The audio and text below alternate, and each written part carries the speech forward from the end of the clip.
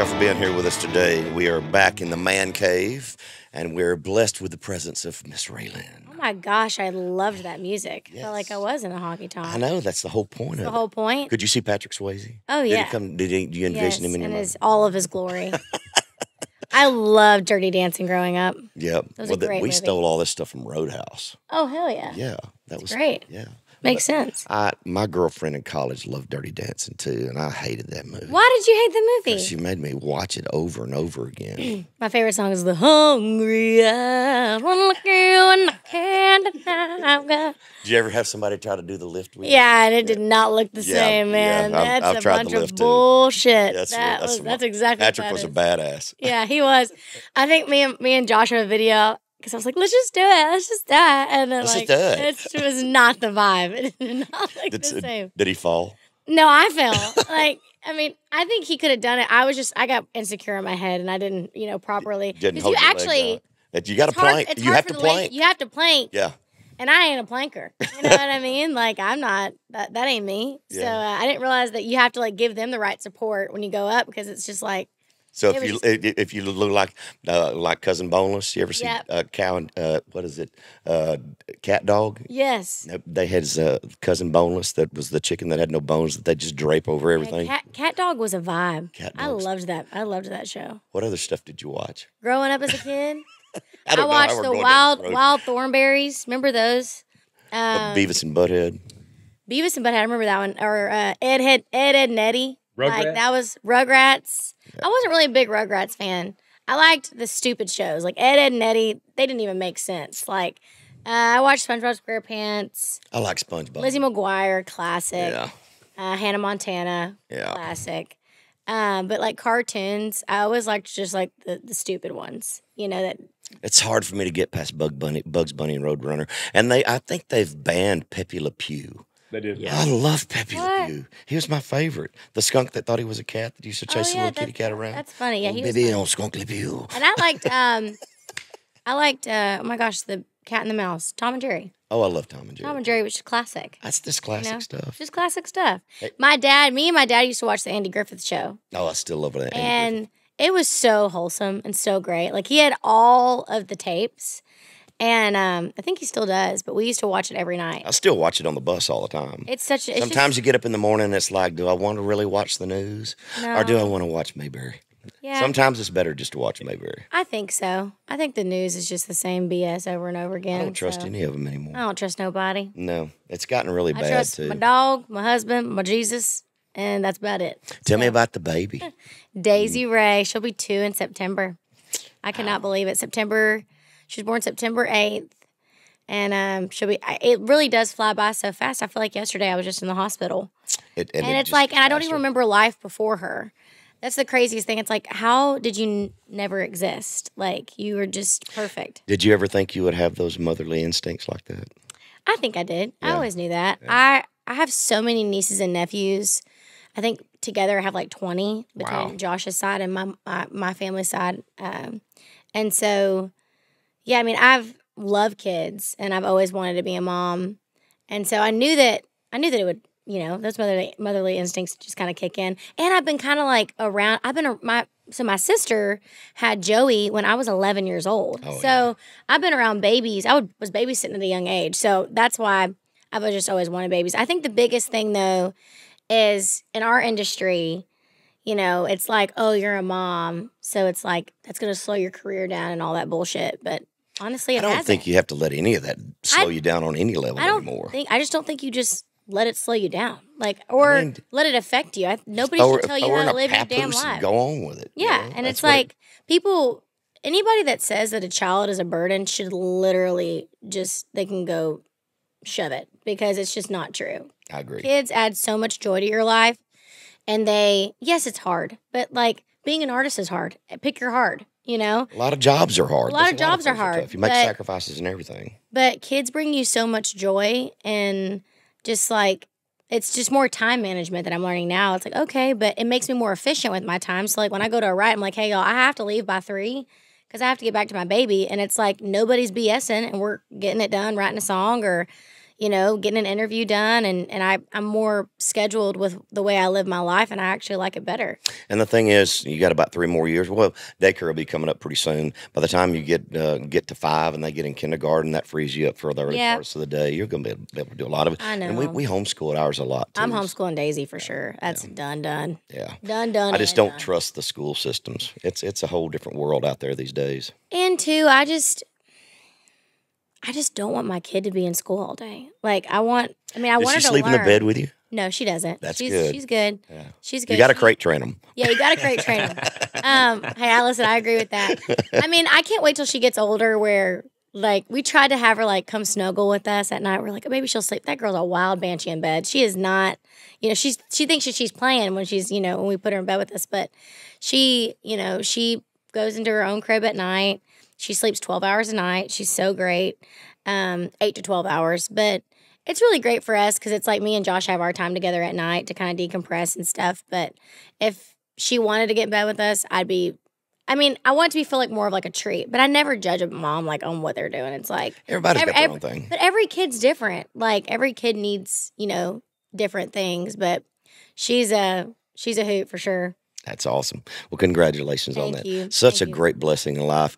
I, uh, uh, our housekeeper, she just had a new baby, and she just came back to work yesterday, and I, I got to hold the baby, little girl. Oh. oh my gosh, she's. That melts you. Uh, it's just, and I remember it's just like yesterday. Mine are twenty and twenty-two, and it just, it's, it's gone by so fast. It does. And I mean, when I think about two years, like, and I, I saw a picture of Daisy from a year ago. It popped up on my phone. And I was like, she looked so different. I mean, she's just gotten so big. And um, it's just, that's why I think that's another reason why I want to homeschool. It's because I, I was on and off homeschool growing up, and I, I did go to public school for a couple years. But when I got diagnosed with diabetes um, at 11, and my family was traveling a lot for ministry, it was just kind of one of those things like, you know what, we're gonna do school on the road, and I I think that there's so much more life experience that she'll get being with us, and of course she's gonna learn, and we're gonna have a teacher and all those things, but being with her family and watching us work and watching us live out our dream, I think that that's gonna be more beneficial for her than her just to be in a classroom that I don't know what they're teaching her Yeah. for six hours a day, eight hours a day. And, you know, she's social as hell. She's around so many kids. I'm not worried about her. That You was know, I think it's a social thing. That was what I worried about the most Yeah. uh, when we took ours out of school, and they were in private school for several years, like up to the fifth grade. Mhm. But we had a co-op of families. There was Yep. like six families that left at the same time. One of them was a veterinarian. One of them was an English teacher. So we had kind of my wife was a nurse in her previous life. So we kind of had this little co-op where they would go to one place and they had this group of people together. My girls also danced on a competition dance Yeah. through the years, so they were around. They were socialized with kids every day, and I think that's the biggest thing that I was worried about was them not being socialized and just because all the home the homeschool kids that I knew when I was growing Mm-hmm. Up were like weird as crap. Hey, but I was homeschooled and I ain't weird. And Yeah, my husband was homeschooled. He's one of seven. How big a town did you grow up in? Uh, 70,000. It was, it See, I grew up in a town. town of about thousand people. Yeah, it's a so so it's it's like people that when they when they showed up uh, to school sometimes uh, you could smell the wood burning stove in their clothes. It's like people that were in, in a- in, a, very impoverished, very rural part of Yeah. the country. So you're talking about religious fanaticism, crazy stuff too. So it's And and there is that I think that I think that stigma, the homeschooling stigma is leaving too because people understand like you think homeschool, oh, you're the weird kid Yeah. that doesn't talk to anybody. now it still does have those elements. But first of all, there's people like that at regular school. Oh, I mean, like there's weirdos.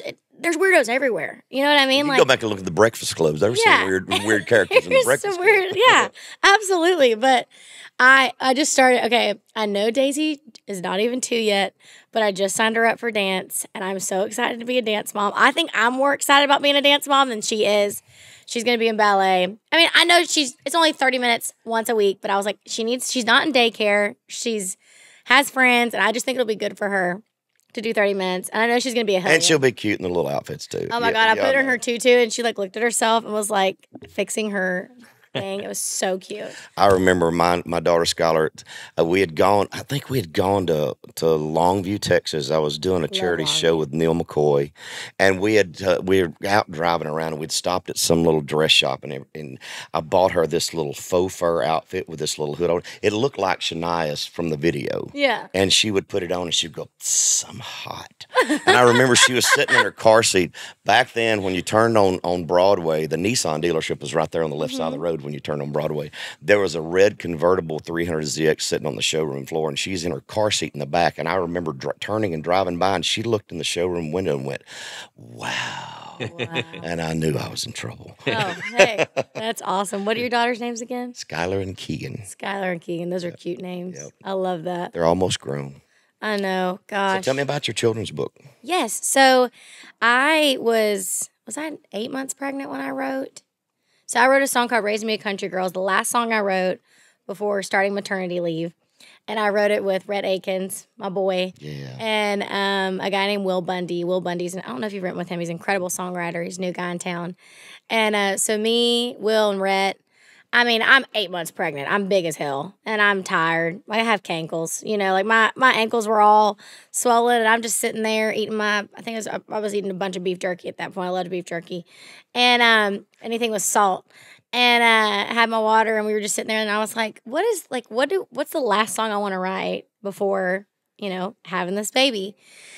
And you know, I was thinking about Daisy and thinking about just the kind of girl that I want her to be or I mean I know she's going to be whatever she is going to be but I just was like what what do I hope for her? Um and I and I was like I hope for her to be a country girl. I hope for her to have good values and to know what's important in life and know that family's important. I hope that she loves her daddy. I hope that she gives boys hell. I hope that she plays in the dirt in her sundress and drinks out of the water hose like I did when it was hot cuz my mom didn't want us inside cuz we smelled too bad. Like I I hope that she has that life experience, you know, of just of being of what it's like to actually be a kid. Yeah. And I think I think that's lost nowadays. I don't think that a lot of kids get outside and um, actually have a life experience anymore. And I mean, I I was the kind of kid that in the summer I'd wake up and I'd be gone all day. And Oh, came yeah. home that night. I mean, I don't even know what the hell I did. I don't even think I wore shoes all summer unless I went, I- until I went to church on Sunday. Yeah, it's like we we were just I mean, I was a scraggly kid and I just we that's the way we lived. And so and it's you know, times have changed. You can't do that now, unfortunately. But, you know, I was thinking of all those things and so basically I wrote all the things down from my childhood and then we wrote a song called Raising Me a Country Girl. When we wrote this song, I was like this would be the cutest children's book, just celebrating tough girls. And so it's, you know, it's right there. And I this book has been selling so great and it's been doing great. And and I love it too because I've had mamas um that have sons and because it's not just for girls too like they're like i want you know them to look for them a- country girl a sweet girl and i want them to learn about that girls can be tough too. And so it's been really cool to see um, moms with sons buy the book too. And then one girl that messaged me on instagram she was like i have four boys and i really want a daughter so i bought this book to pray over because i want my own daisy because she loves the name daisy which is my daughter's name. So, anyways, it's it's been really fun, and I um I know this is going to kind of open another door for me, and and I just I want to write more children's books. I just think the next generation is who we should be pouring into, and I I love it. Have you read it to her yet? Oh yeah, all the time. Yeah. she, I think she loves it. So uh, I know Yeah. Kirk Cameron's been going around doing a lot of libraries and Yeah. things. I, I think that's such a great thing. He's taken a lot of flack from the left over it, but he has stood his ground, and I think it's been amazing what he's been achieving with this platform. I think it's just important to to get out there, and I can't wait to read "Raising Me a Country Girl" and um, take it around and and do some really cool things with it. I know we're thinking of some really creative opportunities and. Where is it at right now? Um, it's just on it's just on uh, the website. I think it's raylanbooks.com right now. Awesome. And then I think there's a few stores that are going to buy it in bulk to have in the stores. I know a few like Texas boutiques. And I think we might do like some cool um, stuff with, I'm doing a clothing brand collab with a brand called uh, Shop Buddy Love.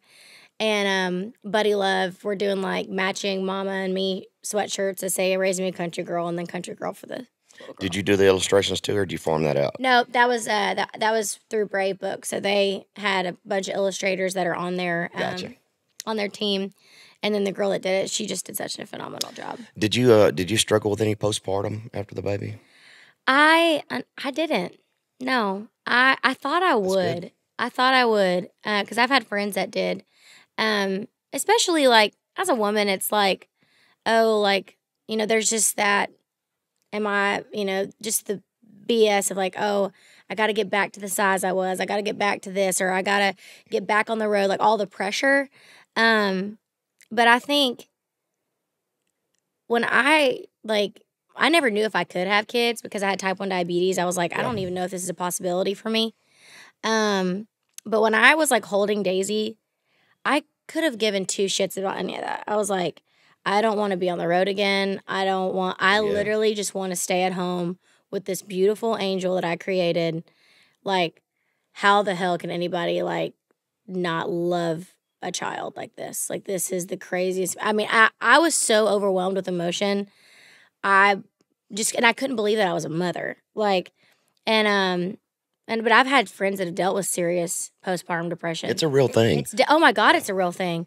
But I I thankfully did not deal with that, you know. But I I did pray a lot, and I I, I don't know. I just I I don't know why I didn't deal with it. But thank you, Jesus, It's I some, didn't. some people just don't. I mean, my Yeah. wife struggled with it a little bit. Mhm. Uh, even even the later stages. I mean, as the kids were getting a little bit older, sometimes it sneaks in on you. You know, and I it, think it can it can linger around several months after. Yeah, I think there was a point where, but this is not depression. But I was just like, I think I should get out of the house. Like you know, I was like, Yeah. I think we should go to like Target or Nordstrom or something. Like I don't know. Like let's just Retail therapy. Yeah, let's just retail therapy. And it's like you can't really do anything and, and you leave out of the house and you have so much shit. Like, you know, you bring so much and all they really need is a diaper and a boob. Like that's all they need. And we're like freaking out about everything else. Yeah. And so I I was like, why are we bringing all these creams and stuff like this? But it's your first baby. You know what I mean? my niece Ashton just had her first baby, and my my mother, God bless her, had six of us, uh, and uh, I think we all put her through our own kind of hell in our own kind of way. And my mother's like, you know, I've raised six, six kids. I think I've got this figured out. Well, they were going to the beach, and uh, uh, my mom was going with them, and my sister and all the other kids and everything. My my niece actually had they had to drive their own vehicle because they they filled their their SUV up with everything for the baby. They had to have all the things. Oh yeah. And so you're so overwhelmed as, as a first time parent. I know we were. We did all those things too. By the time the second one comes along, put some dirt on it. It'll be fine. Oh, yeah. Yeah. No. Once you get through that first one, you kind of realize that you know if you drop them, they're going to be okay. They're gonna be They'll- they'll okay. fine. That was hard for me the their head. first time that Daisy fell off. Like I didn't even want to talk about this at first because I was like, "Oh my god, I'm the worst mother. My baby fell off the bed." But thankfully, everybody's baby's falling off the bed, Yeah. and I still feel bad when I talk about it. Got to put pillows around. But like, yeah, but like this is when I didn't know that she was rolling, Yeah. and so when I tell you, I held her and I just wept. Like I, and she was fine. She was crying. She was doing everything that you want her to do to know that she's okay. But I felt like the worst. But I was like, oh my god, is she okay? Like I was like looking at. I, I took her diaper off. I took all of her clothes off. I looked at her. I mean, like I felt so bad. It was um, it was definitely interesting. And I mean, I fell off so much shit growing up. I fell off a bunk bed and broke my nose. Like like it, I've done all the things. oh yeah. I was the fifth kid. Nobody gave a shit about me. yeah. Just go go back outside. Yeah, go back outside, drink out of the water hose. Nobody cares. so where's uh, where's music at right now? You back in the studio? Yes. So yeah, we're we're getting back in the studio. I have a collab coming out soon Who with with? a new artist named Jay Allen. He's really Okay. sweet. Um, I've it's been honestly, it's been a really cool season. I uh, you know, I'm not signed to a label. Uh, own my own publishing now. Good. uh, got new management. I've just been kind of beating to my own drum. And I got a new agency, which, if you don't know what an agent is, it's people that book you shows and stuff. And I kind of did like a clean sweep, and um, and it's just been it's been cool to be in the driver's seat, the full blown driver's seat of where my career is going. And there's just something different when you own your own shit. It's just like you protect it, you write better songs because somebody's not telling you, hey, write a song that sounds like this hit or write a song that sounds like this. It's like, no, I'm going to go in the studio and I'm going to write whatever the hell I want and see where it fits. Like, and because I feel like this industry, they really just put you in a box of what they feel like, what formula works. Well, as a label, if they've got five artists, they want to fit you into a category that doesn't overlap with something else that they're, Yeah. they're working. They have their own agenda. Doesn't they have do anything have their to do own with agenda, and it's and it unfortunately it's backed by a bunch of zeros. And if you're in the red and you aren't in the black, they look at you like a bank account. So it's like, okay, well, how much is RaeLynn in debt? Because that's this will be based. This is how much we'll invest in her new single because she's already in debt this much. But what if you would invest a little more and you could take it to the next level? It's just it's all. But listen, as a businesswoman, I understand that it's a business. Yes. We all want to make money. We like I no hard feelings. Like it is what it is. But for me and like my creative process and me to be like in a good mindset, I enjoy doing my own shit. And I think there's two. We're in a time and, and place where there's so many uh, resources and tools for us to market to our audience out there. And I, I think there's no matter what your platform is or what your sound is, I think if you can just find a way to reach that target target audience, there's there's a million people out there that are going to love us if you can just find a Oh, way to get to them. absolutely. And it's like, how do you group them up? How do you identify them? How do you reach them? Is it through what platform of social media or, or some political stance or whatever it is that you've got going on? yes. The hardest thing that I have to figure out, because I haven't been on a label since 2007, 2006, something Wow. like that. It's been a long time. Yeah, it's been years. Uh, I was on Universal for a short period of time Mm-hmm. after after DreamWorks merged with them, but the last hit that I had, which was uh, "Find Out Who Your Friends Are," was on my own imprint. wow. So we've been doing this by ourselves for a long time. Uh, but there's just so many uh, ways to reach people out there, uh, and and uh, what I found out is that radio is too expensive to go to. A lot of people don't realize if you're not on a major label and you're trying to fund that yourself, you could spend hundreds of thousands of dollars to barely get in the top forty, and nobody's Yes. going to hear you. and nobody's gonna hear you and and i think that's a, a, big reason why they're signing a lot of this young talent is because it's everybody's dream to be on radio Yeah. right it's everybody's dream to get a number one country radio hit and um i just think for me you know i've god made girls which was when i when i was on big machine because i i came to nashville shit was it 2012 I moved here or 2011 I came for the first time, but I moved officially in 2012. And my first label was Big Machine, Scott Borchetta, that whole crew. Yeah, And um and they got God Made Girls to top 15, or I think it was I think it made like 13 was the highest it got. Um, but it went platinum. I mean, it sold. It did everything that you want to. Because another thing too is just because, and you know this, just because you have a number one record doesn't mean your records sell. absolutely not. Like you can Right. have a hit all day long, but that doesn't mean it's an impact song. Like when I'm thinking of my business now, it's like shit. I don't give a, like. I don't care about having a number one song. I care about having an impact single. Like I want a song that's gonna move shit for me, Yeah. not just like because I've had. We know a lot of artists that have had multiple number ones, but they can't fill out a damn arena. absolutely. Nobody gives a shit about them. Yep. And it's like that's I think that's the difference between just a song and an artist and a star. And it's like what are what are you doing to build your brand and like thinking of it in that lens, but um, you know, God Made Girls did really great at radio. But I, I, I mean, I took several songs to radio after that, and it just, I mean, it's just for the spend.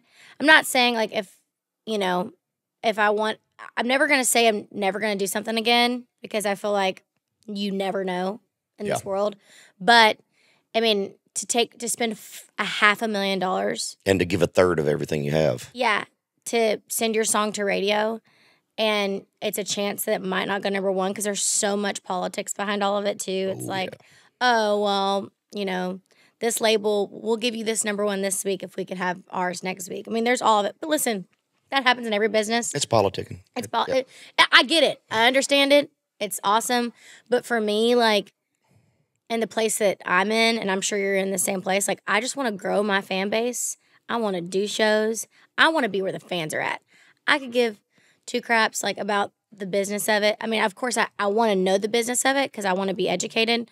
But, like, I do this for my fans and I do this for the people listening to my music, and I got to get to them. So, however, you know, whatever takes me there, that's what I want to follow. the hardest thing that I have to understand uh, when you when you have a hit on the radio, there's a there's a thing that happens that it's hard to describe to people that haven't experienced what it feels like. It's like I call it the wave. You know, as you hit top 40, you start to feel a little rumbling. You hit top 30, it starts to move a little bit, and you can feel the intensity of the crowd mm-hmm. change. When you hit top 20, it gets a little bit more. Top 10, it gets it increases. By the time you get in the top five, when you peak out, if it's a real impact record, it changes people. There's something that happens when they hear that on the radio. And after spending, you know, twenty something years playing the chart game, when I uh, when I got away from that, it took me a while to decompress and realize that there's life after radio.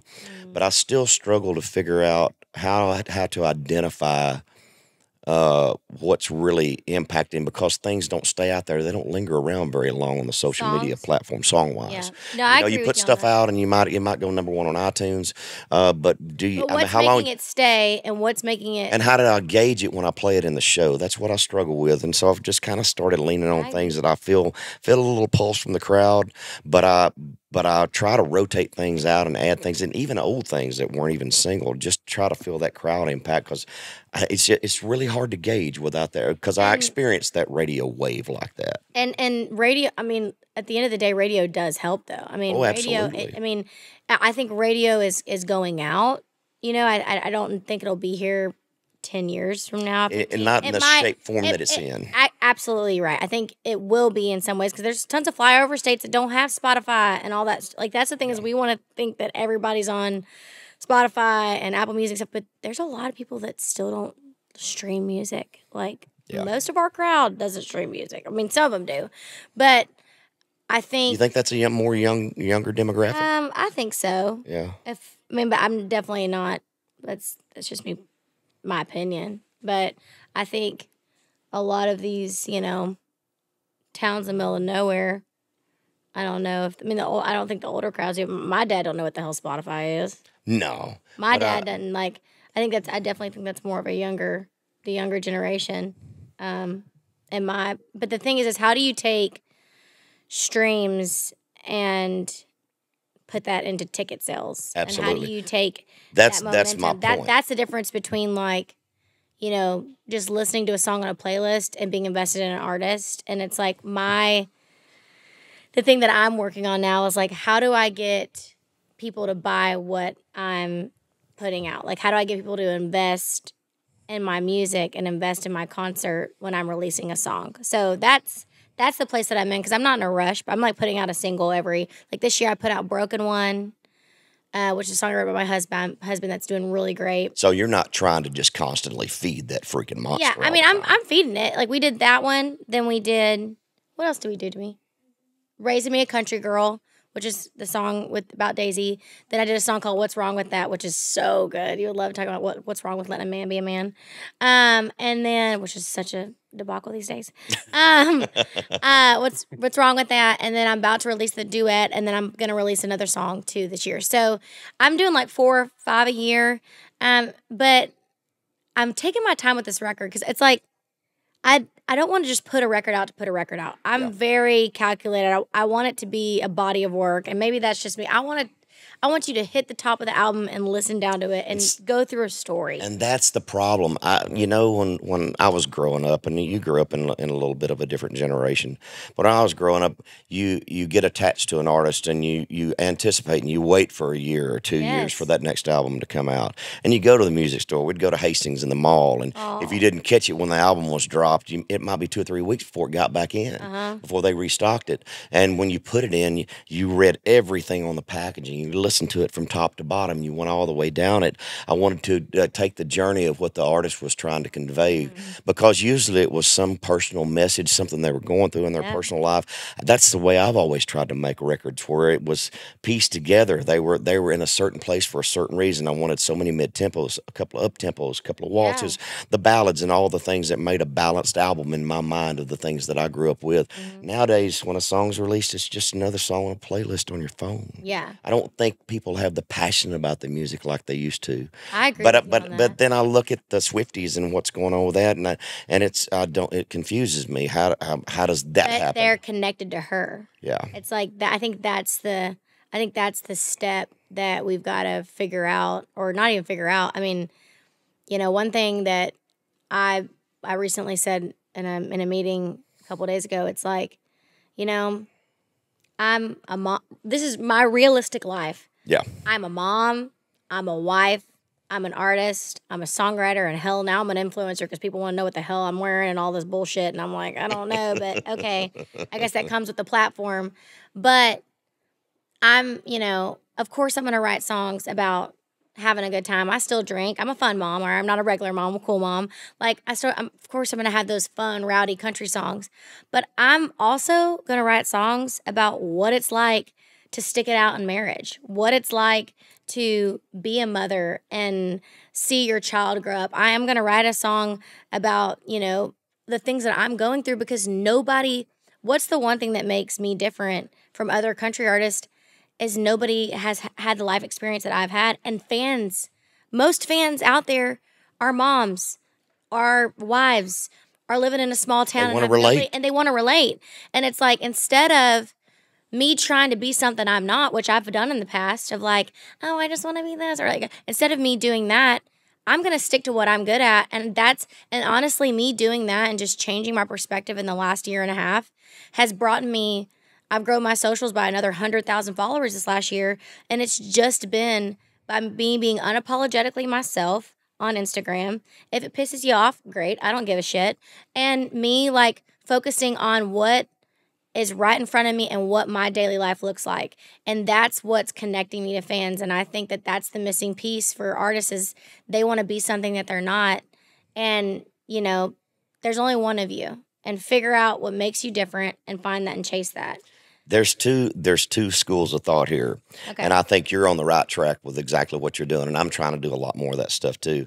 But if you look back to the artists that we idolized growing up, there was a mystique about those artists. There's mm. a mystique about George Strait. There was a mystique about Waylon Jennings and Willie Nelson because you never really knew everything that was going on in their lives. Mm-hmm. Nowadays, everything's just a freaking open right. book. But but I think we live in a society nowadays where they want to see the true you. They don't want to see the bunch of crap. They don't want to see the facade or the fake stuff about you. But there was something that real cool that used to happen. If you think about all the stories you heard about your artists, people that you idolized growing up, if if they got in trouble on the road or something happened, by the time it worked its way through society, it became this thing. Even if it was some minuscule. So now nothing has time to fester and really develop into a real cool thing. You know, it's all Yeah. as soon as it happens, it's out there. It's just done. There used to be some great stories that you heard about all the artists on the road. I heard stories about Waylon Jennings almost getting busted by the feds in the studio and dumping cocaine down the toilet. You know, there was all this crazy stuff that you hear about back in the day. Nowadays, something happens, it's just there. Yeah, it is, and I I think there's a beauty to to it, and and and like social media is great, but it's also the devil at some points too. Like I, Absolutely. you know, and, and that's the thing for me. It's like I want to find my balance. Like I don't want my whole life like on vacation. I'm not going to video our whole freaking vacation. I don't Like, post stuff from vacation. we don't do it because I don't want people to know where I'm at and I'm Yeah, going. and it's like, what beach are you at? Well, it's like, bitch, quit asking me what beach I'm at. I don't want you to freak. and I don't want to see everything you're eating every And- time you sit down at the like- freaking table. And th- but th- listen, and I understand people figured out what beach I was at because it's very fi- easy to figure out. Like it's you know Miramar Beach, cool, great. Now you know. But like I, but sometimes it's like you know, it's just very. It is very like interesting. It's it's to me, it's a love hate relationship because I. First of all, safety is a big thing. Like I, thankfully, I'm married to an amazing ex Green Beret um, man who like would literally kick somebody's ass if they tried to come near me or my daughter, um, and you know, in a weird way, not if you're just a fan and you're sweet, because I love seeing my fans out, and I love it when fans come up to me. Like some artists, like I think that they're weird. I if you see me out, come say hi, like big hug. I love that. Um, but all that being said, you know the world is just crazy. And so i've i've been trying to figure out like what's that balance with my daughter on social media? What's that balance with my life? Like and so and i'm still figuring out that balance. I have not And I think that's a personal thing for everybody. Yeah. I, I think some people want to, uh, uh, like Alexandra Kay, love her to death. She posts every single day. She's doing stuff every day. She's Yeah. become an influencer.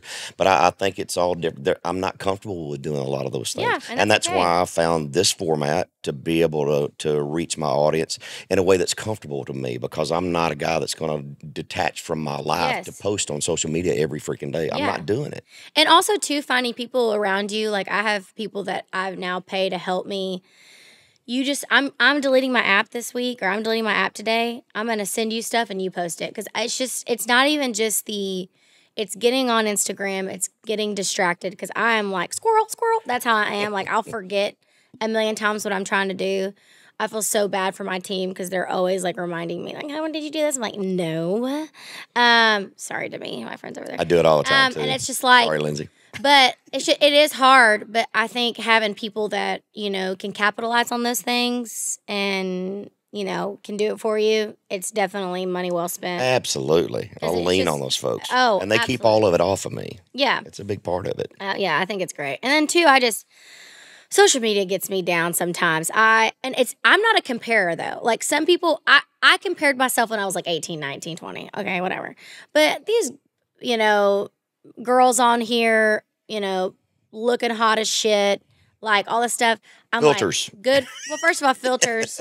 I'm like good for you. Hell yeah, you look hot, you know, but I'm not I've never been somebody when I see that they have a nicer house, I'm comparing, or if I see that they are driving a new car, I'm comparing. You know why? Because when you become an adult, you're like, do you know how much that cost, or do you know what that like? Like those are the things that my like my mind goes. And two, I've just thankful. I'm thankful to Jesus for this, but like I've just always been an extremely grateful person, and I think if you you can either decide to live in a place of first of all people that want more will always want more. When they have everything in the world and they have $10 million in their bank account or a million dollars, whatever, they're still, it's never going to be enough. So that's all mindset. Like freaking Kate Spade was, you know, literally sold her company for a billion dollars and then committed suicide the next day. Doesn't make sense. I think there's a conspiracy there. But um, all that being that said, one.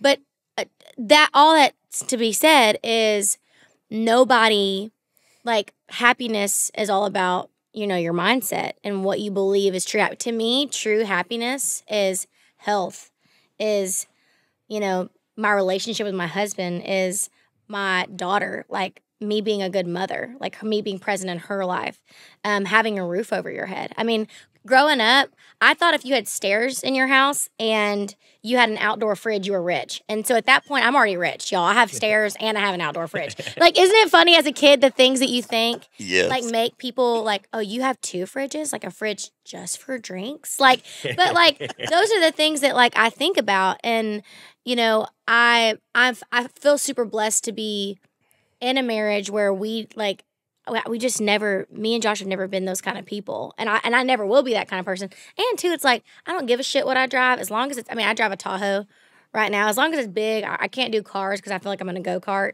but I would drive an old 94 truck if that's what got me from point A to point B I, I just I'm not materialistic I've, I think I've learned a lot too as I've gotten older. There's something to be said about working through the hard times of a marriage and struggling. I mean, my wife and Mm-hmm. I've been together almost 25 years, and in the music business, I mean, I've I've had a couple of failed marriages. She had a failed marriage. It's not easy. it's not It's not, and you have to dig in and make that commitment. We fought through some tough times, and kids can bring challenges as they get older and they start coming into their own, and they test you and they they divide and conquer. Because believe me, kids are very manipulative and they're Very good at it. They're very smart, and they will drive a wedge in between you. You got to stay on the same page, and sometimes it's not easy when you're traveling all the time, Mm-hmm. Yep. and you're and you're chasing a career, and he's doing his thing. I mean, it's it's something that you have to really work at keeping those things together. yep but at the end of the day when all this is gone right and Because this is just fleeting. It doesn't It's just mean fleeting. I mean, like in, you know, 40, 50 years, it's going to be me and Josh. when you're yeah. hobbling around on Yeah, a walker with tennis while, balls in the walker. front It's legs, going to be a hot pink walker. It- yeah, it's going to be a, it's going to be a I'm damn gonna get a jazzy. I want be- an I want a motor. Yeah, I want a bejeweled walker. I'm talking like, I'm talking diamonds, bitch. I mean, I'm going to put all my money into my I want a paintball gun, the one Hell mounted yeah. on each arm that I can I shoot love that people shit. with. That's cool. That's, that's vibey. I like that. That's it. That's sick. There, but you know, as I think as you get older and you and and you settle into the reality, I I, I feel like I overcame a lot of it because I was very self indulgent and and probably not so nice at times. We know, all were. But when, when you're young and you're successful, you take a lot of stuff for granted. I've Yeah. I've learned to appreciate it on the backside as I've gotten yes. older, and you know I've had to had to be humbled a couple of times and and back up and realize that what was best for me was not the best thing for my Yes. family, and focus on my children and reprioritize some life at times. And sometimes that's really hard for a Type A personality that has been so career driven for a long time. It's hard to back up and take a back seat, but sometimes you have to. Yep. Yep. And I think I've had to because I'm very type A. I am like I was the fifth child. I Fighting for attention. fighting for attention, proving something. Like I, I mean, at I'll never forget my mom. We were trying to. I really wanted to do this like audition thing, and it was probably some scam audition now looking back, but it was some audition thing in New York. Um, or I wanted to go to some show in New York. And she said, if you can plan this whole trip for $1,500, we can go. Flights, everything included. I was 11, okay? I got on the phone. I negotiated a room rate. I negotiated our um, flights. I had everything lined out and it was fourteen fifty. And she said, You're gonna do something incredible with your life. I don't know how the hell you just did that. And I would be on the phone, be like, Yes, this is Kelly. Like, and I would act like I was my mother. And I literally planned this whole trip for as much money as she said that I could. And it's like, you know, there's something about that fifth kid, man. I always I always say, I'm like, man, I hope that you know, Daisy, I know Daisy can be a world changer in some way, but we've got to let her have some grit. Cause, you know, you have something when you're, I mean, I, my mom, so my, my dad had four kids and no, three kids in his first marriage. My mom had four in hers, and they came together and had me. So it was like kind of like the Brady Bunch. And so um, I had definitely a lot of siblings growing up. What was your first job? My first job, How old were you? Well, I worked at our church, our local church. I mean, my family had a church. And so, but I mean, I answered. So my dad is a tire man. So he uh, has owned his own tire company since he was 23. He still owns a tire and trucking company in Bay or in Houston. So y'all go check him out. Tire Source, no Truck Tire Depot. All right, on McCarty Road. You need something on your um 18 wheeler. Go see go see Barry Woodward. That's a dad. very honorable, respectful, Yeah. hard work. Oh, hard work. hard work, Hard work. and he still works just as hard. I've told him to take a break, like, but he's. I mean, I think it keeps him. Probably young. run his fist through a cinder block Oh, wall, can oh, he? Oh, yeah. If he's And, handling uh, tires all day. Oh yeah, he's doing all that stuff. He's just recently taken a step back, which I'm really proud of him. But you know, I think there's something about that work. Like he's just he's also old school, man. He's like, dude, like nobody's working harder than me. So it's like, but he's he's finally found somebody kind of running the business and he can, you know, do more and be granddad because he's gonna come out and be with me a couple weekends this fall. But um so I would answer phone calls for him. I would separate his receipts. This is back in the day when you had the white receipt, the yellow receipt, and the pink receipt. You Oh, know what yeah. I mean? And so I would flip them out, like organize them. Every call I got to answer, I would put like a tally, you know, and every tally I got a dollar, and I would I'd add a, a couple extras, and he'd be like, "Wait, what are those road calls?" I was like, "Oh, they were just like you know co calls, or like somebody just called me, but they didn't really need anything." He's like, "Oh, so you count those too?" I was like, "Absolutely," but I, I was lying, sack of shit. I just wanted extra cash. Um, but no, so I. I worked there, and then my dad, you know, my brother had a co calling business, and I used to copy and paste emails for him. Um, but I mean, I was doing stuff like ten or eleven. Like I was always helping, and So you were very structural, uh, organized, like uh, clerical work and stuff. You were very organized Oh, yeah. at a young age. oh yeah, I love. so you manage your own calendar and everything now. oh yeah, I mean, I I do manage my That's, calendar now. that's a lot to be said. A lot of artists don't. A lot of artists are flighty. They don't know how to structure their lives Well. I and do it, and it structure my- causes a lot of friction. I do structure my life pretty well. Um, I will say, I mean, I'm not perfect. I forget things sometimes, but I mean, I'm pretty structured. Like I, I have my routine of things, and especially being a parent, that'll make you have a routine. Yeah, I think you have to. Admit, eh, I, I used to fly by the seat of my pants and everything, and as I've gotten older, I've had to really work hard at structuring everything that I do because I, 'cause know I what? can't remember it anymore because I'm old. Routine's good. Yeah, it is. routine's good and that's one thing that i've been trying to i need to get one of those whiteboard calendars for me and josh because me and him need to be on the same page probably with our calendars. He's like what are you doing today? I'm like i'm doing this this and this. Or when are you going to be gone? What are we doing? And so anyways but Are are you structured with your songwriting? Like, do you have like a file cabinet of ideas and a folder of adverbs? Or yeah so i for me like i have like voice memos of like melodies i have and then when i just get a random idea i just pop it in my phone Uh-huh. uh, like song song ideas um but i get in, inspiration from like everything like when it comes to songs. I i always just try to you know flip a song on its head like i want you to like for instance when i wrote my song love triangle i was like okay love triangle is like you know a person being in love with two different people right? I'm like in this love triangle whatever. But you know i was like how do you flip this? And at the time you know my parents were i was really dealing with the process of my parents divorce even though it happened when i was younger. It really didn't affect me until i got older. And so that's when i took that idea and made it about my parents divorce. And so i that's my favorite part about songwriting is like figuring out what's going to make it this song different you know and um, how can we spin this and, and make it you know something that's interesting.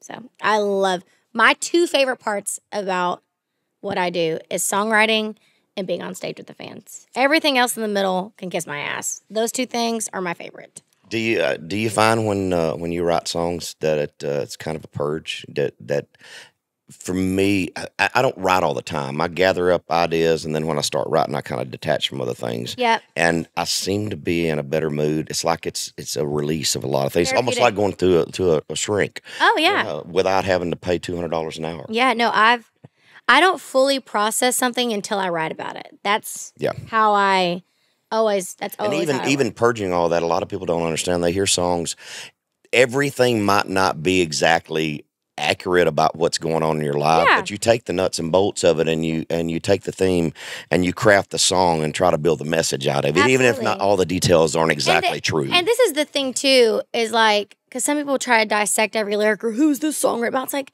bitch, like I've been married for eight years. I'm not getting my heart broken anymore. Like I get my heart broken in different ways because you know he freaking ate the piece of pizza that I was excited to eat. when I got home. like it's like that's what I get upset about now. You know, like I'm not, I'm not, you know, on Broadway, like you know, breaking hearts, you know, wearing tube tops and shit. I mean, maybe sometimes, but like, hi, but like that's you know, but I still want to write about that because that's what my fans are dealing with. And two, I'm an artist. Like I think it's important to have those songs for your fans too. And I'm a songwriter, and I love to encapsulate a story. And I mean, I've written songs based on my friends' experiences with dating. Oh, or absolutely. so it's like, to me, a great song's a great song, and it doesn't have to fully relate to your story for it to be a hit. or it for can be to a work. mesh of two or three situations Yes. of your life and Yes. friends' lives, or something you saw on TV. Maybe maybe a Hallmark movie. Yes, and I something. you never know. And I think that like that's like when you just limit yourself to your story, like I was like, well, my story doesn't match with everybody. And I'm not saying I'm not gonna write about the things that are important to me, but that's not gonna be everything that I write because first of all, and I would get bored. I love writing about different things. Oh, Like, without a doubt. it's so much fun. Yeah, and like I said earlier, it's very therapeutic. It's such a release of, of a way to purge all that stuff Yeah. out of you because things do build up. Oh yeah. I mean I wrote a song recently and it's called Bitch, which um I God, I can't wait to hear that. It's so good. But it's talking about. Okay, you remember the song? Um, remember the song by Brad Paisley? It's my favorite song. I was like, I'm gonna miss her when she gets Yeah. home, and how it starts off kind of slow and then it gets fast, like you, like it's like that hook. And so basically, this song is the same vibe. It's like you know. Basically, you're a beautiful, intelligent, too good for him. Could do a lot better human. Like you're, you're, you're saying what bitch means, what he actually meant when he said that. But you know what? I'm just gonna tell you what he has. He's a bitch, like his daddy, and his daddy was before him buying big. Just like, and it's just super fun. It's like, you know, I'm not dealing with this or whatever, but everybody knows a bitch that you know drives big trucks, and we know why he's buying a big driving a big truck. He's overcompensating for something. Like, oh, we all know those kind of. We've dudes. heard all this. Yeah. And so like, but that doesn't necessarily relate to my life right now, but it's a hell of a fun song to sing. And I like so that's the things I never want to limit myself. Like, and two, like I grew up in a small town and we all know those, you know, like we all know those kind of dudes. So like I think I think it's fun as a songwriter because you just don't like you just get to create stuff out of thin air and it There's make it- make it make sense. and there's freedom to uh, not being on a label to not have to worry about trying to write to radio. oh uh, where you really have the freedom to just express yourself the way Yeah. you want to. It's not like you're trying to chase a certain tempo or fit into a box of the label what they Yeah, want. I mean, there's a lot of freedom to that right now. I remember the song, one song that I wrote years ago, and I brought it to my label, and I posted it on Instagram, and it was blowing up. Like, and the hook of the song was "Breaking up with you was like taking my bra off." Like, thank you, Jesus, your our relationship is over, and and that is not a label song. Like, they, I mean, of course, I remember playing it for them, and I'm like, oh my god, isn't this like great? And then they were like, they're like, but they knew because they know the system. We love this song personally. Like, we think it's great but this ain't gonna work, you know, for what we're doing. And so, like, when I left the label and I released Baytown, which got over a hundred million streams, my first independent project, it was because of songs like Bra Off. Like, it was because of songs like Keep Up. It were songs that, you know, tested the line and what didn't quite fit in that box, you know. Do you still think the uh, the music industry on some level is still a little misogynistic? Um, What do you mean? Is it getting better? A male dominated, le- um, the male hierarchy that runs a lot of these labels don't want to hear that type of song. They want you to be sexy and fit into this other Oh, box. for and, yeah. sure. Oh, absolutely. I mean, that's all still very real in this oh business. yeah, yeah. and especially and and goes back to your point. The labels mm-hmm. say they love it, but we can't take that to radio yeah, because the people that program those stations. they don't relate, but they don't relate to that. But who's listening to their stations? Moms. Do you? I don't think. I Women. don't. I wonder And how men. much the programmers really pay attention to their audience anymore. They've almost detached. Everything is pre-programmed. I don't Yeah. think they listen to their listeners Well- and their markets as much as they used to. It's sad because radio used to be like if you were a radio jock, right? Like you determined took calls. You took calls and you were like, "What do you want to hear?" But now you have four big dudes that control Everything. 30 stations, 40 stations, 100 stations, 200 stations. So there's really no like listening to what each town wants to hear or what like market wants to hear. It's kind of a one size fits all. And I think that that's unfortunate because I think every area has different wants and needs and likes. And like if you are in a flyover state that, you know, they are, you know, maybe an older, A little bit more conservative a little bit more yeah. conservative, a little more of an older generation. You know, they're not going to want to hear certain new, you know, bro country type songs, which I love all kinds of country music. They're going to want to hear more of the old school stuff. So it's like, you know, you're taking that away from them, but that's what their city wants and needs. So I think I, I do miss the old small town radio feel because it really Because it really did- reflected of that market and what those people yes. wanted. and then people that were artists needed those markets. You know what I'm saying? Like if you were an artist that was hot back then, you could go still to those markets because that's what they wanted to hear. And you could you could uh, kind of get traction on that record by getting some of those stations early on in those markets Yeah. that really understood who you were. You're going. This is going to blow your mind. I was I was one of the last radio tours I was on. I'd gone, and I'm not even going to say where the city was, but I'd gone into the booth and I was doing an interview with a guy, and he said, "Lee, what, what kind of stuff you want to play?" And we talked about some songs, played a couple of things, and then I'd said, "Play this song," and it was a number one record somebody in another part of the building that was monitoring that that had the control over that when i asked him to play that certain song they changed it before he played it and put a different song of mine in its place with me sitting in the studio wow. and i'm like are you freaking kidding me Hmm. and then that, that's that's how much control they have over these stations Yeah. it's crazy And I think a lot of fans don't know that. No, and they I don't think have that any that's idea. why. See, that's another reason why I love streaming because you can just stream the shit you love, which is there's something to that. Yeah then how do you find new stuff? That That's the issue. That's How do you thing. find new stuff? Yeah, it's the same with podcast. How do you find great podcast? How do you find great new music? And and Spotify does a pretty good job of giving you do. new boots and new things. And I try to go down those rabbit holes and Yep. and listen to a lot of new stuff that's out.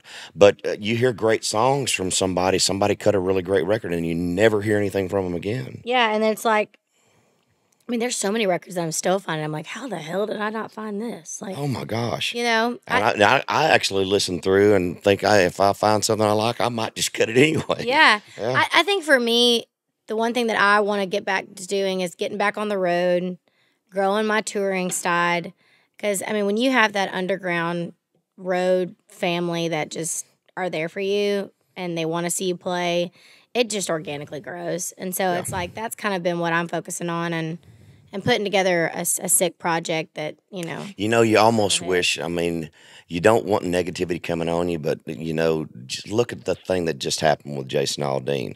They took Yeah. advantage of it. They capitalized on it, even though CMT did something really stupid and booted him, booted the video off. Yeah. You almost want something like that to happen to create controversy because it gives you a platform in the marketplace and brings your visibility up. Isn't it so sad that we have to like do It's that though? It's it's yeah. ridiculous, but you know, And I know he didn't do that on pur- purpose. no, he didn't. But you look at a company like CMT, and how do they even carry any leverage at all when they only play videos on Sunday morning? I mean, you never see Yeah. any videos. They used to be. I, when I came to town, that's all they played videos all day, every day. It was so cool. I remember. I loved it. I remember I uh, it. watching CMT when I would get back home from school, get back off, you know, and that's when I recently like found out about Miranda. So Miranda Lambert was the first record that I bought with my own money, and um, they were playing her song "Me and Charlie Talking," which is you know that's old school first record of Miranda. She was this beautiful blonde girl, you know, with her tank top and bootcut jeans and um, Mama Tried shirt, and I just loved that was because that was her first single. Because they probably, probably put me and Charlie talking out before Kerosene because it was a little more like, you know, chill, right? And then they came in with the fire and hell and all that stuff, which is cool. But um, all that being said, like I remember watching CMT and I watching Jason's first song Hicktown on there and like getting like so jacked about like just watching country music all day. It's uh it was a it was a it was such a it was such a cool time. That was back when uh it was really cool too. I think at the awards Blake did like a throwback of uh the old school CMT um look. Remember like with Yeah. the the old school stuff, but no, it's you know, I, I think you know, I always I go back and forth with it. with video per se. or- No, with with just um controversy and all that kind of stuff. Like, uh, by the way, that's my ADD catching in because I'm just like squirrel. Next thing, no, but I I do think it's important to, you know, you know, people always like shut up and sing or you know keep your you know don't make yourself political or whatever. But I don't think it should be political. Now it's political to just believe in what's right and what's truthful. Yeah. And and I think that's the part for me that um the thing that I will never back down on is it's like my husband is a green beret, my brother's a green beret. Like the military is something that is so important to me. Um, being a patriot is important to me. I mean, I don't even think that like I feel like both sides have things that we should grow on. You know what I mean? Like, but I, you know, I'm unapologetically pro life. I mean, my mom almost aborted me as a kid, and it's like, you know, because she was in a really difficult position. So it's just like I there's things like and, and a part of me like is like, oh, I I shouldn't talk about that. But then I'm like, what if my story changes somebody's life and changes somebody's perspective on something? You know, and, and I, I I battle with that because it's like I do believe in focusing on just music, but then I do believe that God gives you a platform for a reason. And we have a lot of fans out there that, you know, feel alone and they're not alone. And I think that they're it's important to speak to them, you know. Yeah, That's just my opinion. I, I try real hard not to express my political views from the stage. Sometimes it comes out, but I, it's not something that I do on a regular basis. Yeah. But I do have a voice, and I do have things that I have, I'm passionate about. Uh, And that's and, that's okay. it, it is okay, Yeah. and I think there's a time and place for everything. But that it, it just depends on who you are. You know, I respect Yes. John Rich so much. John's Yeah. very vocal and out in front of everything. yeah. But and he's John's not you, and. John's not me. Everybody Absolutely. has like I, I feel like there's some there are some hills that I will die on. There were some things I'm gonna hang my hat But. I'm not willing to fight all the time Yeah, for but that's not my it. battle to fight. Like No. not every I think God God gives you a conviction about what you need to talk about. And and everybody else has their things that they should talk about. And I think I have my few things that that are on my heart, unapologetically on my heart, that I will speak about. Then I have some I'm just like, you know what, I'll leave that person to let them fix that battle. And- Because and- I can't fix everything. I'm I'm focused on so many different things right now. And I believe we do need to spread more love and more like like we need to just love people and i think that that's a big thing that's lost is but the thing is is there's there's love and truth and i think people have separated that but like there's or truth and love like i you know just because you might believe differently than me that doesn't mean that i wouldn't step in front of you if a gun was coming your way like i i have so many friends that don't agree with me on certain things Absolutely. but they are my friends Like, like it's you- just the divide of it You know, and I, I I've really had to detach after after the Trump debacle in 2020. I really had to step away from the news for a while because I was really devastated by it because I thought our country was um, getting back on track and there was a lot of the the, the whole machine was working against him, and I really had to detach yeah and, and because I, I realized that the media, uh, the news, and a lot of things around us are are actively trying to divide us yeah. racially, politically, socially, and and I had to step back and remember that you know I think we have a lot more in common than we have that We divides do. us, and we're allowing too many people to influence our thought. Yep. Because when it comes down to it, most people really just want to have a better life Yep. and give their kids better opportunities than what they had when they were growing up. Yes. They want a safe society, uh, and uh, there's so many things that are breaking down the fabric of our society right Yep. now, and that's what I struggle with. That's what I hate. And that and that's why I don't watch any of that stuff. I focus on my neighbors. I focus on my friends. people that matter that I you can focus on interact the people with. around with me. I'm not. I think one of my favorite things was it Denzel Washington that said. Was it Denzel that said this? Yeah, Denzel said this. He said, you know, before he was talking about social media, and he said before you would have like. 10 or 15 people, and I'm going to find this clip and send it to you 10 or 15 people in your circle that you were trying to impress, right? Like, those are the people you cared about having conversations with. Those are the people that you cared about what they think, you know. But now, social media, like the t- you had 10 or 15 people that you that you needed to like you right but now you have for me seven over 700000 people that i have to make agree with me Impossible. that is absolutely impossible Yeah. like and so i think the only way we're gonna find and, and, and i'm not this is the thing too it's i'm not trying to shove the way that i believe down your throat to make you believe that. I just think it's important for all of us to have conversations and have empathy for each And other. not we've just- lost empathy And not just fly off the handle when somebody disagrees with Yeah. you. Can't we agree to disagree? absolutely And and quit the knee jerk reactions when you get one negative comment. If you're a corporation and somebody gives you a neg- negative comment, and all of a sudden you just go through this whole Yeah. withdrawal of everything. You know, let's. let's you know how many people told me to quit bit. music because i suck at songwriting and singing i mean what if what if i did that damn it like i mean i'll never can't listen to forget when I was on The Voice, somebody, you know, and when I was on The Voice, I was not as great as a singer as I am now. Like I was like, "Wake up, cow!" Like I said, like I sounded like I said cow when I said call, and like all this shit. And so on Twitter, people would be like, you know, make fun of my voice, and Blake would retweet it. And this was when he loved retweeting and blowing up people. And he'd be like, "Hey, chicken shit on your grand and your grandmother's closet or whatever, like in your you know corner, like you quit talking about my girl this way." And it was just super funny. But it's like we all deal with stuff like that. We all you're gonna get some feedback. Like it's just I think that you know But I don't need a safe room to cry it out. over. Yes, yes, yes. and so, but all that being said, I I think when my prayer for this country is that we can all have a little bit more empathy for each other. I think what we're lacking is empathy for like you can believe differently than me. That is totally fine.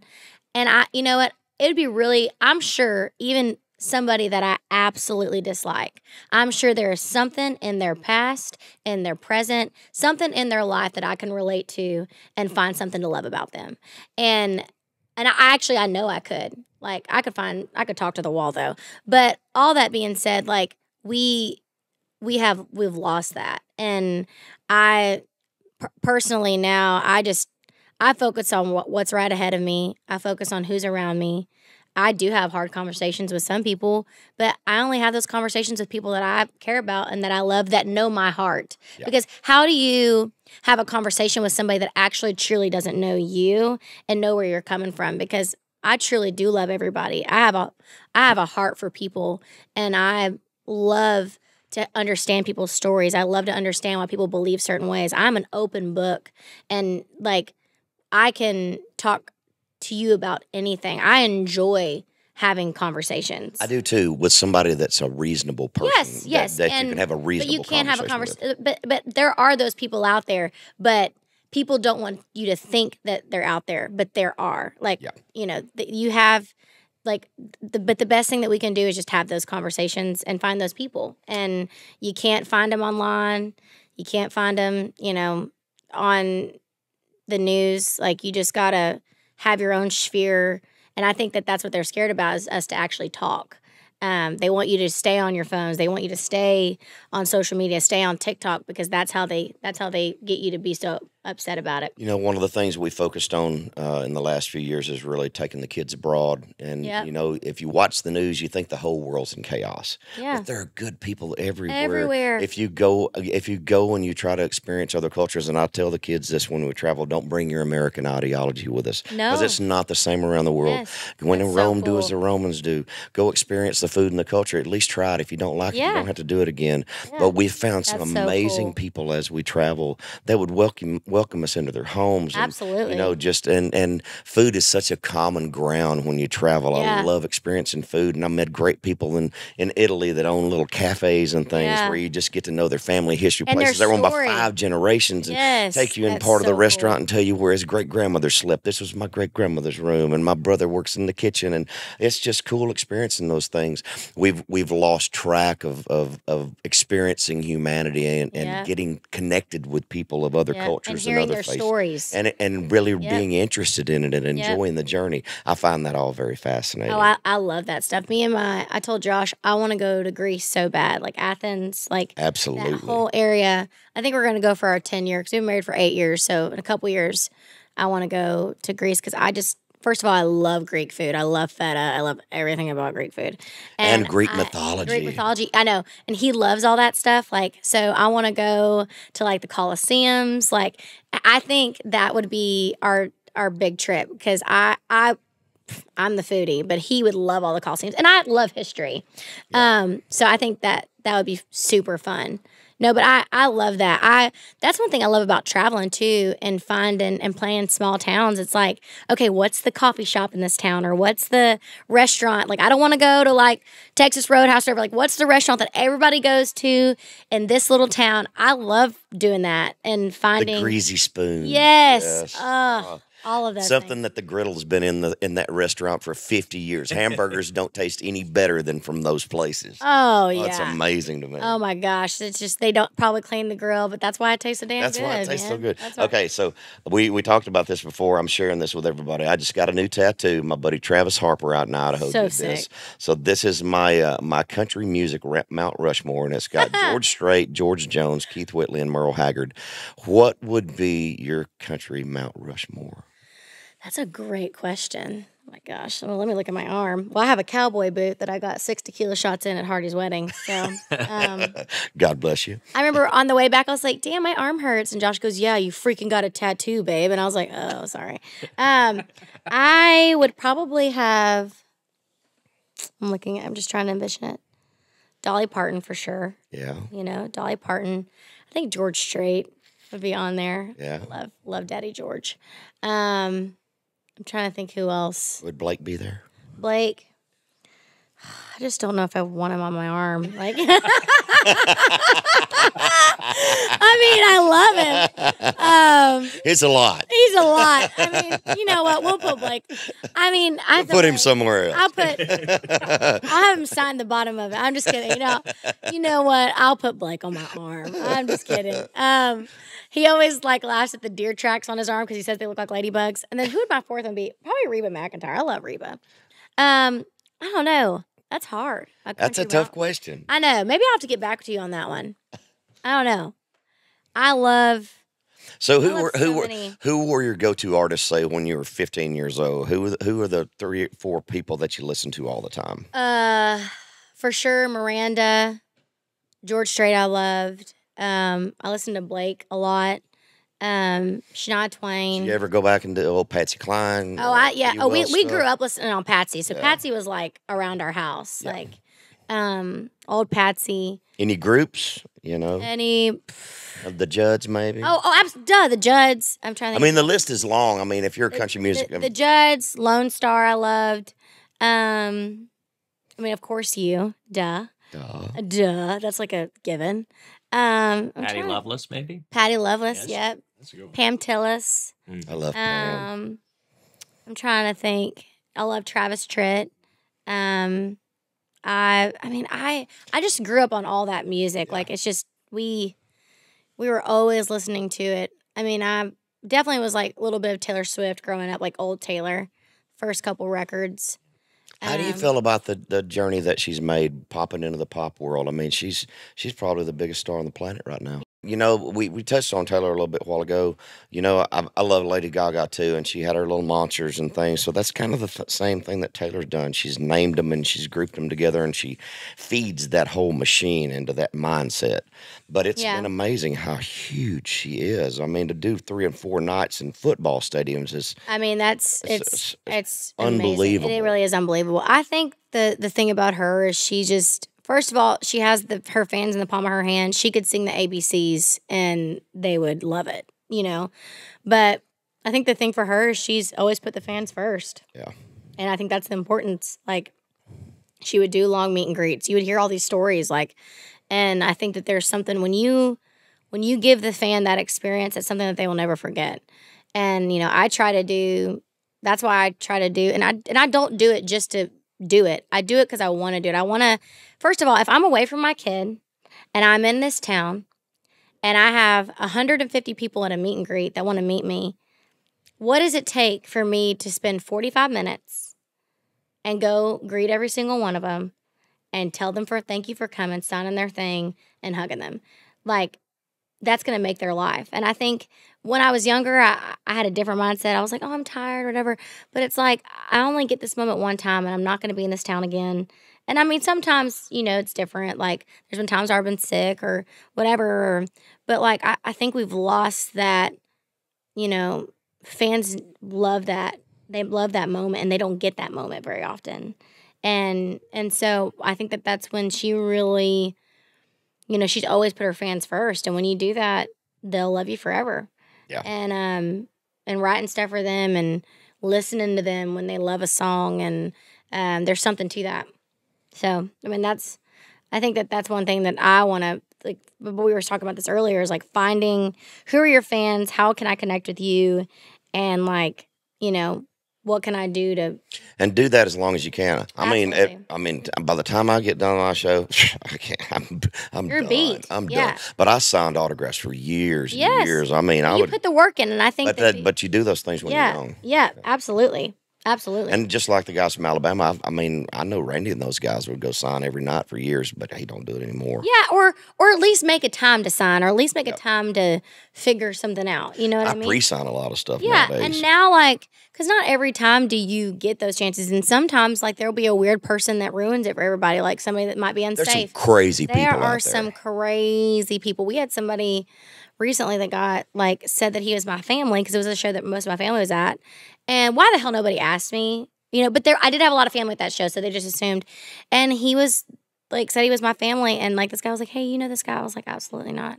And he was a weirdo creep and like so they walked him to his car they had security I mean, they handled it the right way but it's just like people were freaking weird. That what's the weirdest thing that's ever happened to you with a fan?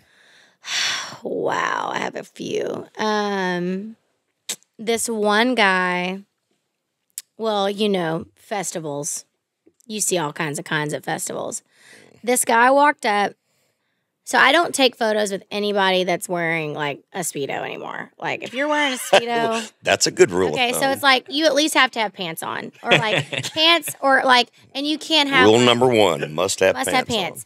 But like we were playing this in like bum f nowhere. Okay, like I don't even know where we were, and you know when you're a pretty girl, you know some guys like you know I'm married. I'm not gonna kiss you on the cheek unless you're like a little boy. Okay.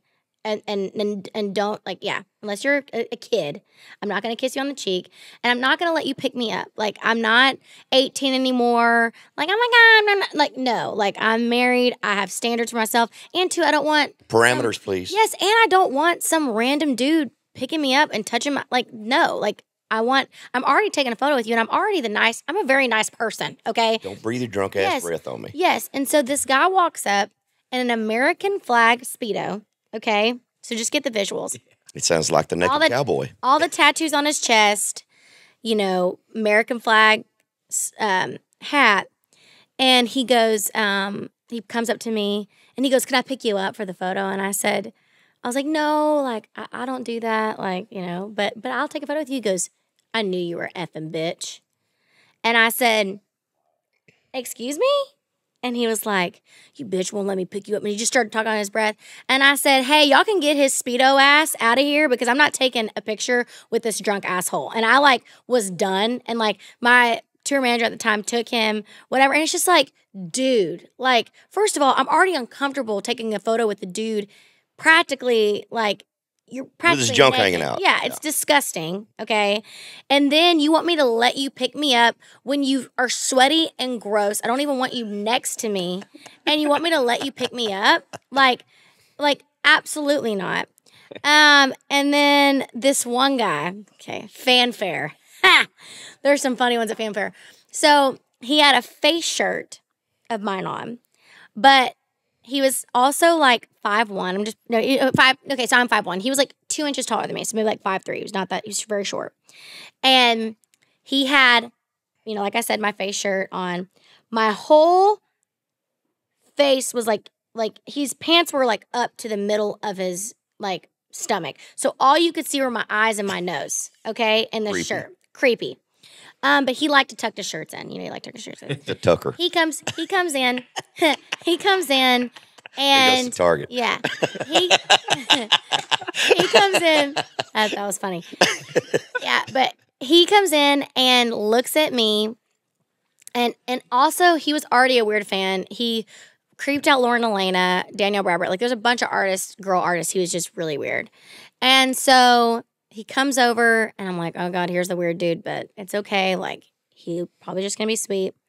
I go to give him a hug, and he kisses me right on the lips. Right on the lips. And I was just like, and I said, what the, like, what the fuck? Like, what? Did you just, no. I was like, no. And I like literally was just like, what? And then I looked and my manager was livid. I mean, like, so mad. She grabbed his arm. She's like, You were out of Fan Fest. You were blah, blah, blah. And it's just like, and he goes, Oh, I'm so sorry. I didn't mean to kiss you. I just haven't, I haven't seen you in so long. And I was just so excited to see you. And I was like, Get your crazy ass away from me. And it's just like, I I think the thing is, is it's just like, I, I've always been a fan and I've been excited to meet artists, but this whole like thinking you can throw things at them when they're on stage, you can kiss them on their lips, you can Grab them on the rear. grab them on their yeah, grab them on their ass or pick them up like you have to be just respectful of people. Like just because There's- somebody is a fan and you're a fan of them doesn't mean you have to cross a line. Personal space. Yes. I mean, a- and we all deal with it, and people lose their freaking mind. Uh, and and I understand and, and, but that's there. That's like I don't know. Just be normal. Just be, and I understand it to an extent. I mean, I've met when I met Dolly, I uncontrollably cried, and I don't even know if I cried that much on my wedding day. Like, I'm just being honest. Like, I was a wreck when I saw Dolly. Like, I I couldn't help myself. But, you know, I also was like trying to keep it together. I was trying to show her I was keeping it together. You know what I mean? So it's just, but there's a difference between crying and like kissing somebody and wanting you to pick them up when you're in a sweaty speedo. You know, like you have all those. My things. grandmother attacked George Strait. Oh, I was so embarrassed. She literally jumped on But him and almost tackled him. It was my grandmother. But that's kind of cute. But she's also can get away with it because it's your grandmother. Yeah, I was still so embarrassed. Yeah. I have some embarrassing stories like that, but we'll talk about those on another day because I've, I mean, I had my crazy Louisiana uncle at my wedding go up to Gwen Stefani and I wanted to throw up. I got so nervous. And I'm not going to say what uncle was because, you know, I don't want to offend him or anything, but they were all probably drunk. I don't even remember what they did. But I was so stressed. I was like, please do not. Oh my God. Am I, uh, and I was just like, you know, you could see it from far away. And you're like, all right, yep, uh, it's happening. Okay, there's nothing we can do about that. But So, do you, does your family have family reunions? Do y'all all get together? so my my dad's family gets together a, a lot. Because we all have those weird people in our families. Oh, oh that's hell yeah. That The you just that you never know what they're going to do. you It's never like, know where they're gonna come. You never know what show they're gonna come to, and you're like, oh shit, Uncle whatchamacall's here, like, and it's like you don't want to act like that's your your family, and you're just like, dude, dude. But you know what? we all have We them. all have that We all shit. Like like 'em. nobody. I mean, it's so funny. It's like I've been with some of the coolest people, this coolest people in the world, and then like and like you know, but every big old star has a big old weirdo in their family, and there is nothing you can do about it. Doesn't matter how Cousin cool Eddie. you are. There's always a cousin Eddie. It is so true. We've all And- got them. Oh, we do. And I think I think that's what makes it awesome about what you do. Like, you know, shit, I'm not gonna lie, I have a lot of them. You know what I mean? And I, I, I, think Josh has got a few too. I always question his family because his family's like so perfect, but he has a few weird, weird family members. Well, every we all do. You can't you can't have every, everybody can't be a type A personality in the family. No. You got to have a few wires to get crossed in there somewhere. Listen, I'm a little. I think you have to be a little. I like I- mustard. I think you have to like, you know, I think you have to be a little crazy to be in this business too, though. You know, like, just a little bit, or really, really dumb, where you're just oblivious to everything, yeah, which I don't choose to be. no, Yeah. I just, I try to. My new motto is first of all, I've been in this stage of just like, I'm letting God lead my life. Like I think we all try to take too much control of things that we can't control, and um, I'm a big believer. I love the Lord. I mean, I know it doesn't seem that way based on the way that I cuss and talk sometimes, but I do unapologetically love Jesus. And I I remember earlier this year, you know, I, I think as a as an artist and as a type A personality, you feel like you need to take control. Like I'm oh shit, I need a record deal. Oh shit, I need this. I, I'm, oh my gosh, I need to make all this happen for me. But like when I first moved to town, I moved here with a guitar and a prayer. I didn't move here with anything more than that. And all I could do every day was bet on Jesus. And I think moving forward, you know, with my career, it's like, you know, it's really what God wants for me and what like what his plan is for me. Because when I try to control it, it never goes the way that I want it to. But when you give it up to the big man and let him take full control of your life, it really is crazy the doors that start opening. I mean, people tell you that, like, let go and let God, and you think that that's just some stupid Pinterest quote, but it really isn't. Like, you truly do. There is something about understanding that not everything is in your control, but that's a hard thing to do when you're a type A personality. But that's um that's probably the biggest thing that I've leaned on this last year and it's been cool because you just open yourself up to possibilities. Because first of all, I love that um, picture.